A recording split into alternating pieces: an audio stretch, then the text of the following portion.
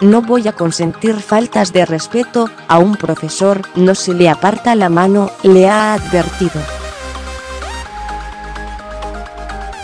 Llevas toda la semana pensando que si no te besas al final con Agoney, te van a nominar, ha comentado Galera.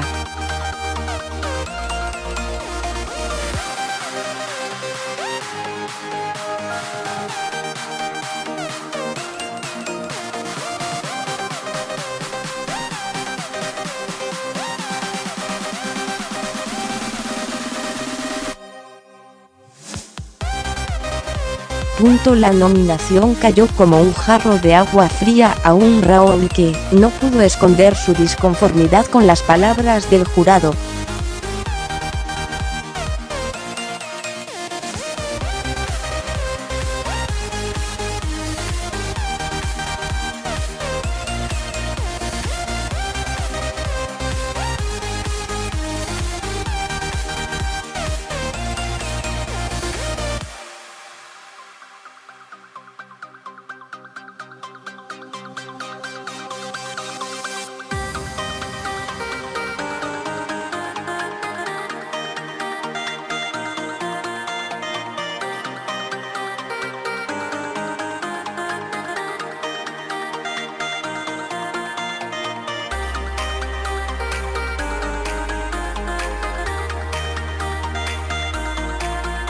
No se pone uno ahí como un niño pequeño. Punto entiendo que no tengas ganas de jugar porque estás en un momento tal. Pero tu actitud ayer no estuvo a la altura de las circunstancias. Yo me pude sentir ofendida y pasé porque entiendo tu dolor y que una nominación es un momento duro para vosotros, pero hay cosas que no voy a consentir, y sobre todo, no voy a consentir faltas de respeto al equipo, ha proseguido la directora de OT 2017. En ese sentido, Noemi Galera ha aprovechado para advertir a los triunfitos que no va a pasar por alto ciertas actitudes. Yo estoy aquí y me entero de todo. Punto, ni a peluqueros, ni al equipo de casting, ni al de sonido, ni a nadie. No voy a consentir que un niñato o niñata de 18 años venga con según que humos, aunque hayáis firmado dos.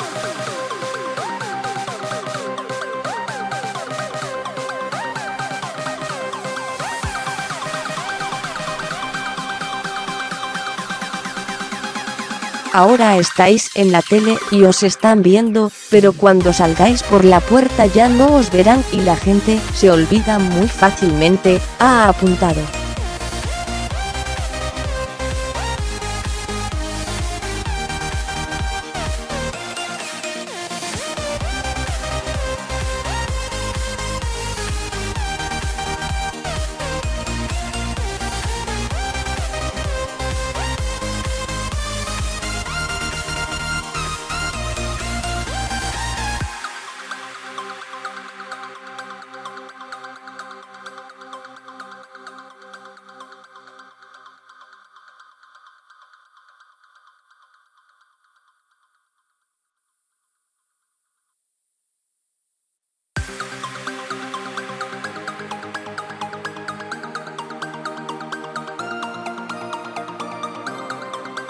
No menospreciéis ninguna canción, jamás.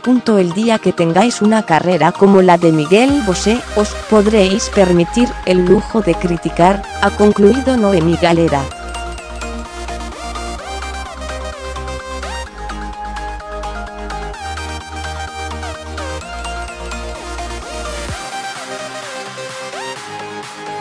Me da la sensación de que te veo siempre muy concentrado en la competición y muy centrado en que no te nominen, ha afirmado.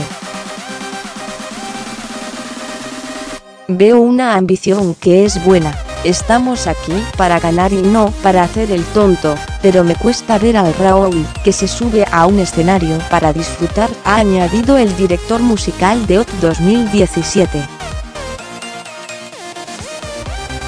¿Por qué queremos dedicarnos a esto? ¿Para qué? ¿Para ser ricos? para hacernos famosos y que la gente nos pare por la calle. No, yo me dedico a la música porque es lo que me hace feliz. El hecho de ser famoso, popular, ganar dinero, hacer giras y no parar de follar con quien sea me la sopla, ha sentenciado.